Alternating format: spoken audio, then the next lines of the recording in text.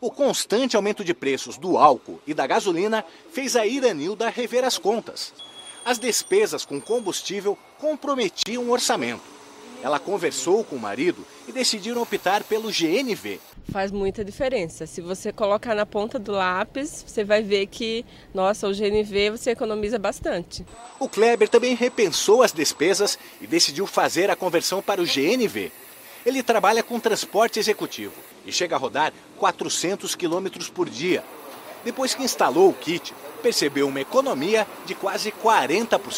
A gente faz um investimento grande né, para pôr o kit de GNV, mas você rapidamente tira esse retorno, né? Você tem um retorno rápido desse, desse valor investido.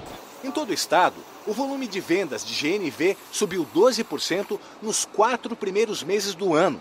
Neste posto de combustíveis no Prado Velho, a procura aumentou 30%. A gente percebe que dia a dia novos consumidores chegam aqui que acabaram de converter seus carros na busca realmente por economia, sem falar que ele é um combustível que polui bem menos do que a gasolina. O kit para conversão custa em média de R$ 3.500 a R$ 4.000. A escolha é justificada pela economia gerada pelo GNV. Para rodar 100 km com GNV, o motorista gasta cerca de R$ 17,50, enquanto que com gasolina o custo sobe para R$ 36,30 e com etanol para R$ 37,31.